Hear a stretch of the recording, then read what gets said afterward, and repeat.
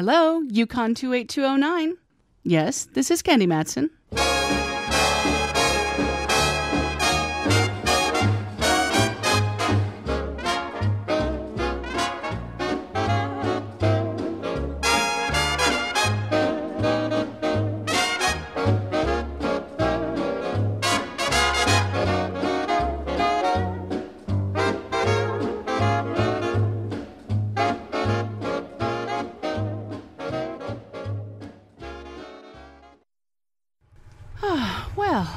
Was a pleasant afternoon, Rembrandt dear. Oh, pleasant indeed, but unprofitable.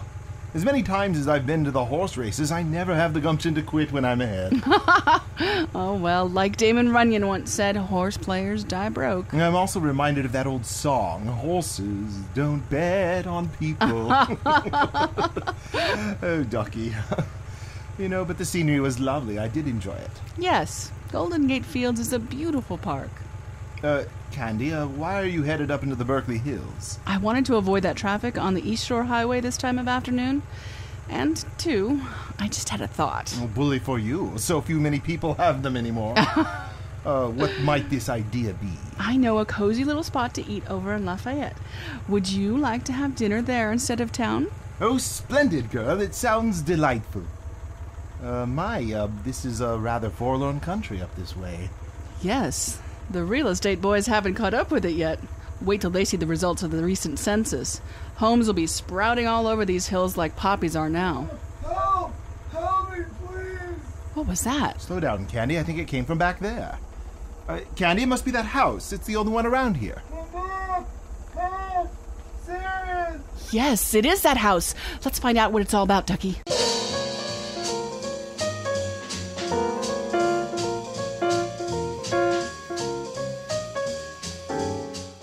Murder. Sorry if the word sets up a feeling like a fingernail down a blackboard, but let us confront it. That's what it was murder. And it might have gone on ad infinitum. Well, that's part of the story and comes later.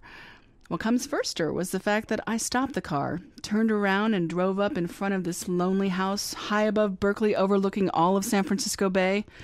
The front door was open, so Rembrandt and I walked right in. There, by an open window, was a man on his knees, draped over the windowsill from where he had called.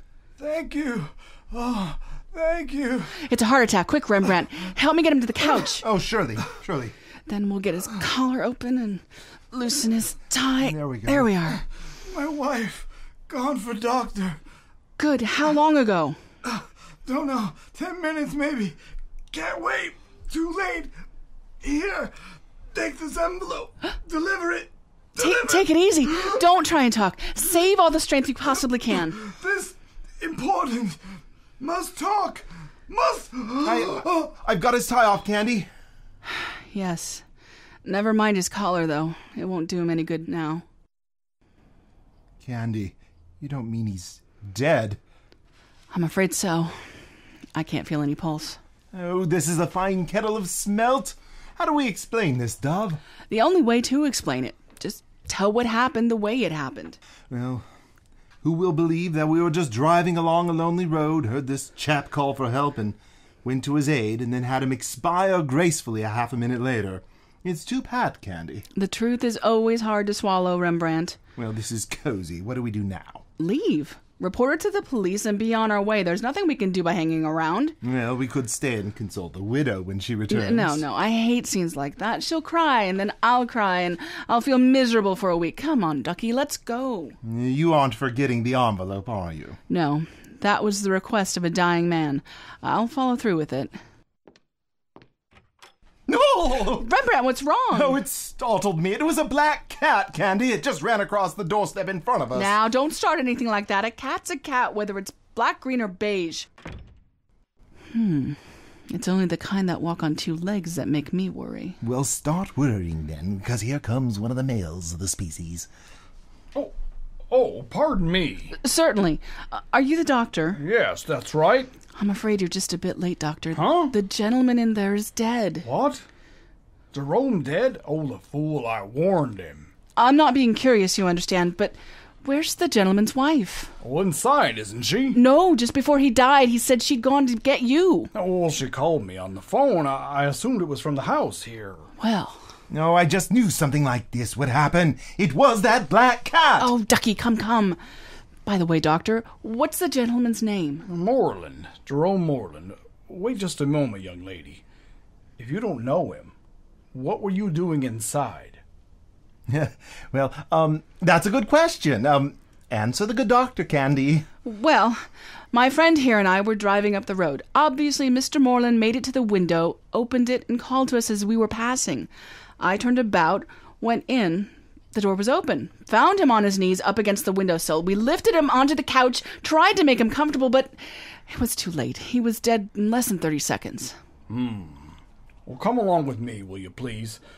First, I want to examine Jerome, and then I'll have to have some information from you for my reports.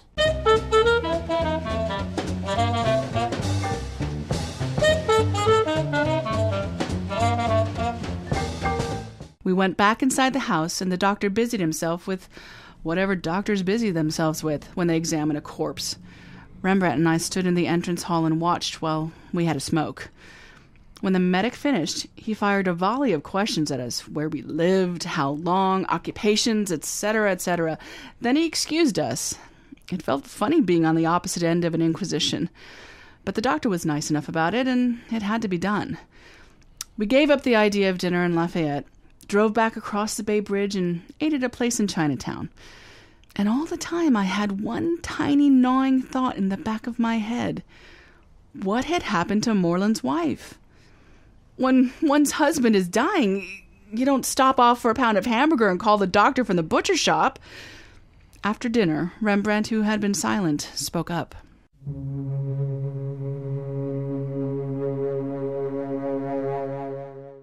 Dove, I can't place me finger on the exact cause, but I have a slight touch of the vapors. Oh, Ducky, I'm sorry. It was either the sight of the poor dying man on the couch or the tomato cherry yuck. Hmm.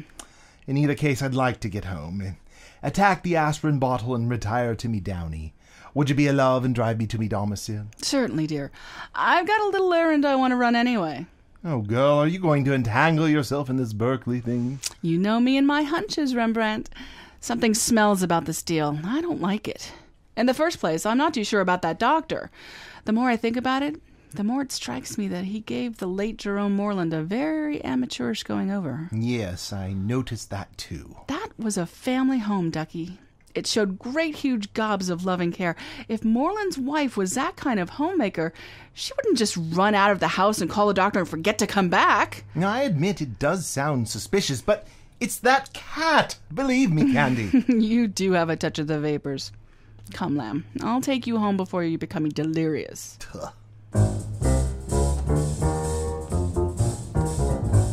I drove Rembrandt to his place on California Street, then over Kearny to the Hall of Justice.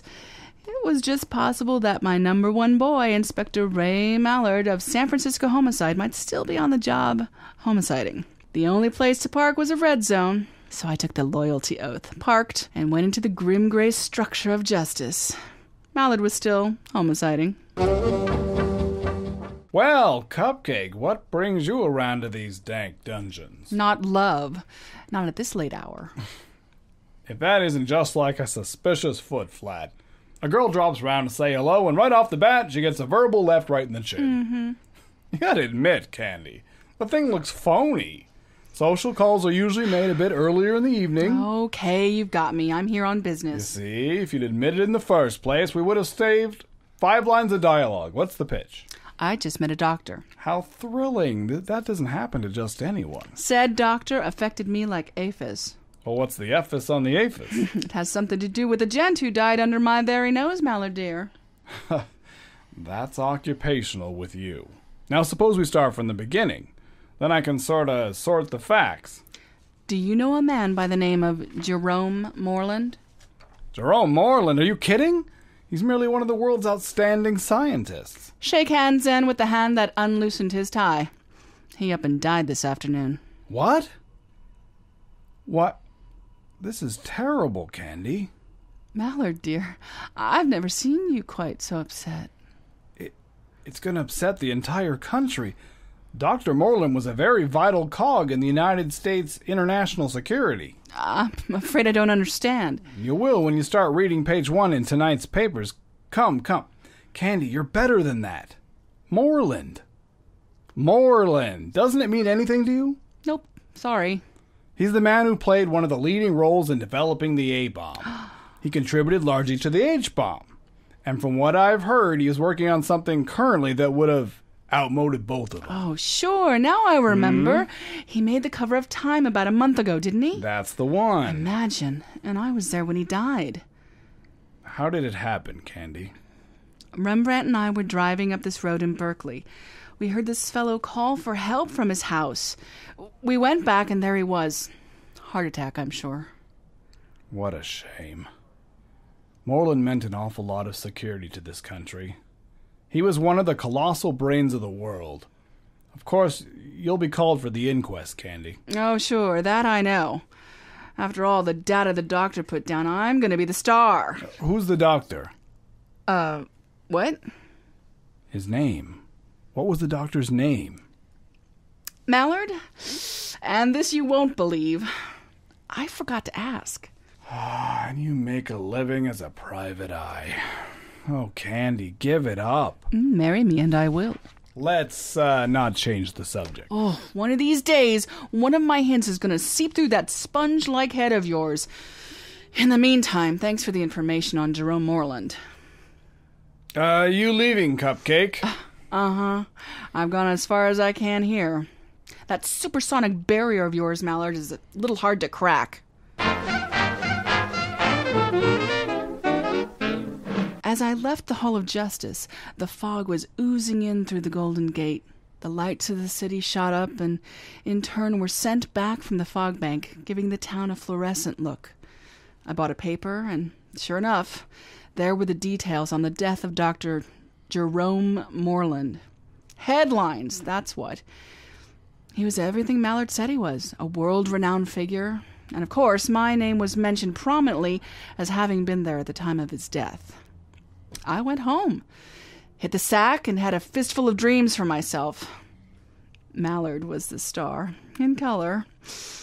The fade out came with me in Mallard's arms just as the bell rang and saved me from going another round. It was nine o'clock the following morning.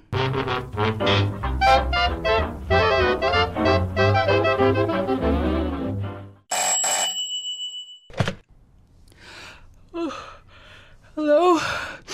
Yukon 28209. Uh, yes, Miss Candy Matson. That's right. Uh, I'm so sorry to wake you. Um, this is the coroner's office in Berkeley. Oh, yeah, I forgot about this. Uh, yes, um, you're gonna have to appear at the inquest of Dr. Jerome Moreland. It's this afternoon at one o'clock at this office. Okay, I'll be there. Thanks. Quite all right.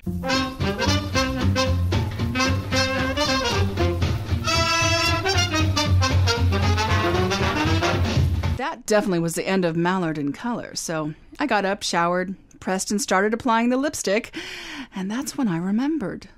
Looking for the lipstick in my purse, there was the letter the good Dr. Moreland had entrusted to me. I'd actually forgotten all about it. I looked at the envelope. It was addressed to Hans Mittelstadt, Snug Harbor Hotel, Embarcadero, San Francisco. I had an appointment to have my hair done, so Mr. Mittelstadt would have to wait.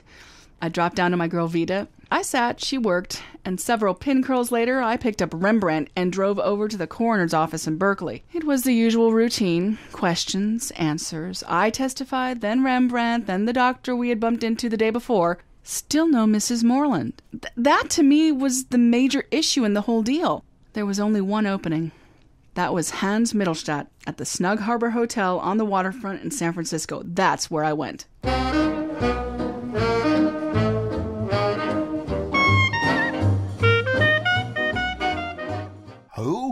Stand to windward and I'll do it again. Mittelstadt. Hans Mittelstadt. Mittelstadt. I don't believe we have anyone registered here under that name.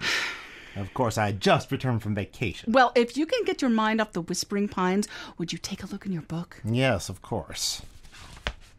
Yeah, terribly sorry. There doesn't seem to be any Mittelstadt Whoa, listed. one moment, Buster. What's that right there? Oh, well, um, yeah, I must have overlooked that. Um, And his is Mittelstadt, isn't it? It doesn't spell Smithy. Now, come on, what's the room number? Oh, look, miss, why don't you just beat it?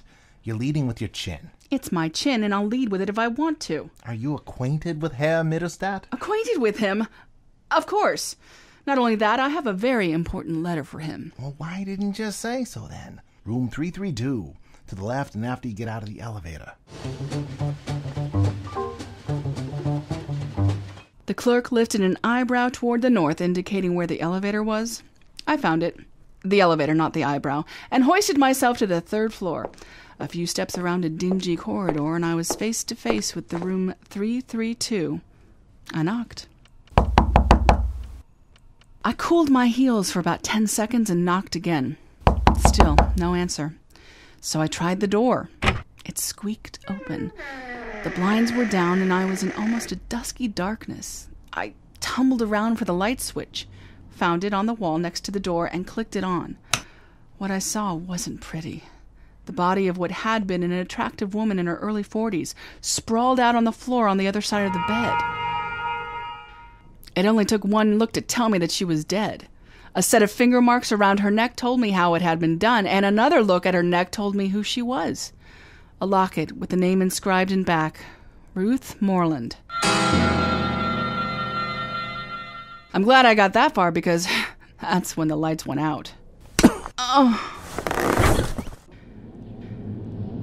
I floated through space for an eon or two. Then, vaguely, something came into audible focus. A voice. A familiar voice. Yes, it was Mallard. At first, it sounded as though he were coming from a deep well. Huh, so that's where I was. Then his voice changed. Come on, Candy. Snap out of it. You've been out long enough. Come on, cupcake. cupcake. Mm. Get with it. I'm tired of having to hover over you like a nursemaid. You got a lump on your head. I've got work to do. Little by little, his voice came into normal shape. Candy, be reasonable. Untwill your eyes and talk to me. Candy. The lights came back on. Mallard stopped spinning around, and I saw where I was a cot in an emergency hospital. That's the girl. Hi, Mallard. What happened? Supposing you tell me. What if I could, but I can't. I know I got smacked, though. That's for sure. You could use that knob on your head for a bookend. How, how'd I get here? It seems whoever tapped you on the noggin didn't want it to take permanently. They gave you the treatment lightly, just enough to put you in a blackout that went through your purse like a tornado through Kansas. The room clerk at a joint called the Snug Harbor phones the police to come and pick up one limp tomato named Candy Matson and one very dead tomato named Ruth Moreland. Did you have anything to do with Mrs. Moreland's ugly finish, Candy? Oh, you know better than that, Mallard. Answer me this. Could that hotel clerk have given you the wallop? Might, but I don't think so. I was just wondering. He had shifty eyes. Like the 49er backfield. Okay, so somebody goes through your purse. Candy, Candy, look at me. As best you can. That's a girl. Now, do you have any information somebody could be after? Mm-hmm. It's not in your purse. Mallard, have you been going through my purse too? Now, don't get excited. It was only in the line of duty. Don't you realize that a woman's purse is private domain? And not when the owner of said purse is laid out unconscious on a hotel room floor. Now answer my question. You have any information someone could be after? I already did. I'll repeat the answer.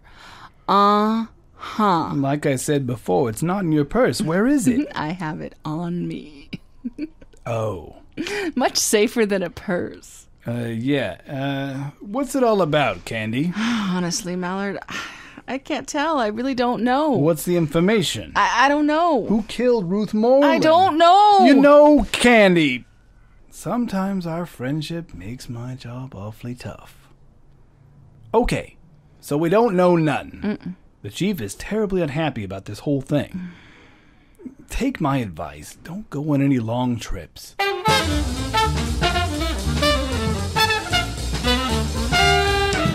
I wobbled to my feet, and Mallard took me back down to the waterfront to get my car. Then he patted me on the hand and I went home. Now, I was more than just curious. If somebody tagged my head with a sap, I wanted to know what the reason was. So, throwing etiquette out the window, I reached down inside where I was keeping the letter and opened the envelope.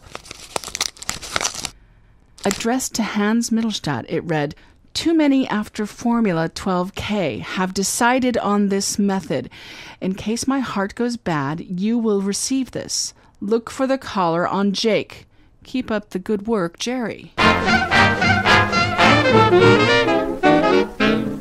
Now, where was I? Look for a collar on Jake. Jake who? Whom? What sort of collar? Barrymore? Prince of Wales? Hoover? In spite of the Gene Krupa symphony going on in my head, I wanted to hear more. The only chance of getting some was to revisit the late Dr. Jerome Moreland's house in Berkeley. I eased back over the Bay Bridge, held out my hand with two bits at the toll gate, held my breath as I passed the clam flats, and whipped up into the hills. There it was the house where Rembrandt and I had heard the late scientist calling. Naturally, it was locked, but I knew a way to get in. Suddenly, I was. I probed about, expecting nothing, and found just that nothing. I tried the back door. It led out onto a terraced patio. I came up short. There, under a tree, was a small boy, sitting with a cat on his lap, the same cat I imagined that had frightened Rembrandt. Well, hello there, Sonny. Hello, What's your name? Tommy. What's yours, lady? Candy. That's a pretty name. Uh, yes, it is. Uh, very pretty. Um, I, I hope I didn't startle you. Well, yes, you did, frankly. Oh, my my apologies. I was looking for my son. Uh, he must have climbed over the fence. I I didn't expect to see him here now that both Doctor and Mrs. Moreland have passed away. Uh, Tommy, uh, where have you been? Right here, playing with the cat. Oh, yes, of course. Uh, here, let me have the cat. Uh, that's a good lad. Uh, you come home now, Tommy. Uh, Mommy says that she has dinner almost ready. And, and again, miss, I, I, I hope I didn't frighten you. Uh, goodbye. Come right home, Tommy. That's a pretty cat, Tommy. How long have you had him? He's not mine. He lives here with Mr. Moreland. Oh, I see. Well, don't you think you'd better go along with your daddy? That's not my daddy. What? Who, who, who is he, Tommy? I don't know. I never saw him before. What do you know about that? Listen to me, Tommy. What's the cat's name? Jake? Thanks, Tommy. I'll see you later. You've got one gross of popsicles coming on me. Oh, sometimes I'm a dope. I should have sniffed something when the guy didn't question my presence in Moreland's yard. Now he had a head start on me. He disappeared around the corner of the house, and I ran over there. Nothing but fence. Only one way out, and that was over. I wasn't too familiar with the fence climbing tactics, but I could learn, and did, in a hurry. I shimmied over to the other side just in time to catch a glimpse of my man with the cat clutched firmly under his arm. He was running down the back lot. There was a little stream running through the property, dividing the homes on one side of the block from those on the far side. I saw the plan he had in mind. He was going to cut across the small wooden footbridge, duck up through one of the yards on the other side, out in front where he obviously had a car waiting for him. I saw I'd never be able to head him off on foot, so I ran back the way I came in, found my car, and whipped around to the other street. Empty. Ugh. It was a one way street, so I followed, taking what I thought would be the same course as my quarry. I must have gone about 15 blocks when all of a sudden I was confronted by one, a crowd, two, a couple of very messy looking cars embracing each other head on.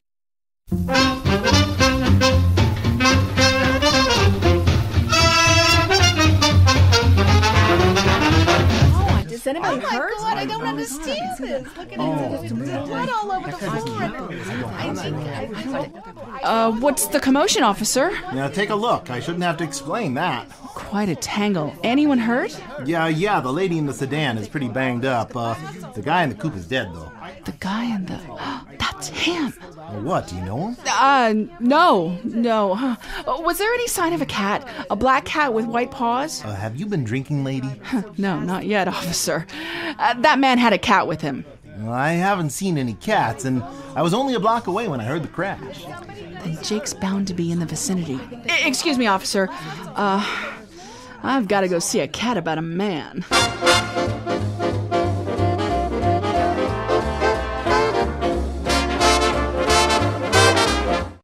Got out of the car, left the officer with his mouth open and his arches flat. Now, if I was a cat, where would I go? Someplace away from the confusion of people and wrecked automobiles. That's where I looked, and sure enough, I found Jake in five minutes. I picked him up, got back in the car, drove over to the Hall of Justice in San Francisco. I didn't have to worry about my friend in the coop. I know where we could find him if we needed him. On a slab in the Berkeley morgue. I found Mallard sitting at his desk going over some papers. I walked in and plopped Jake, the cat, right in front of him.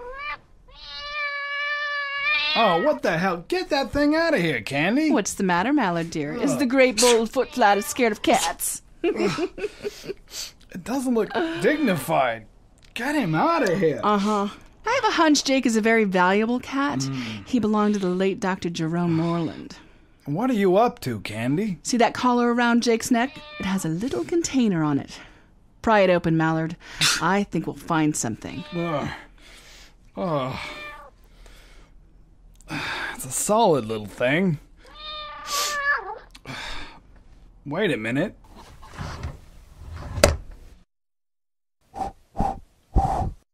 Ah, there we are. Wait a minute. Come here, Jake. On the floor. That's it. Empty the tube, Mallard. Well, what do you know about that? Microfilm. And five will get you ten that they contain the formula for Dr. Moreland's latest development. Okay, Cupcake, start unraveling the mystery. Well, this is going to sound incredible, but it's true, so help me. Just before Dr. Moreland died on the couch, he gave me an envelope asking me to deliver it to the name on the outside Hans Mittelstadt, Snug Harbor Hotel, Embarcadero, San Francisco waterfront. That's where I got smacked over the head by Hans Mittelstadt himself. He'd read the accounts in the paper stating that I was present at Moreland's demise. He figured out the good doctor had given me the information to pass on, whacked me on the beanie, and went through my purse. I'd like to have a talk with that guy. Mm, it's too late, Mallard. Hmm? He's busy atoning for his sins. He was killed this afternoon in an auto crash in Berkeley. Well, that saves me a spot of work. Hmm. I don't like guys who go around slugging my favorite private eye. Oh. So, when I got home after having my head examined by a sap, I decided to look at the message inside the envelope. I thought that if it was worth getting my skull cracked, I was entitled to snitch a look. The meat of the thing indicated that said Mittelstadt was to look for the collar on Jake. That left me nowhere, Mallard, until I got to thinking about what Rembrandt had said earlier. It was the cat. I had kidded Rembrandt about that. Then I did some more thinking. It was just a hunch, but it worked. A little boy told me that the cat's name was Jake. The cat carried vital information in that thing on his collar. Just how vital remains to be seen when you have your boys enlarge that microfilm. You were right. It's incredible, Candy. How about Mrs. Moreland? How did she figure in the deal? The way I get it is this Moreland and Mittelstadt had worked together. Just recently, Moreland had finished his formula. He'd been working night and day. As a matter of fact, that's what brought on his fatal heart attack. In his type of work, he trusted no one except Hans Mittelstadt.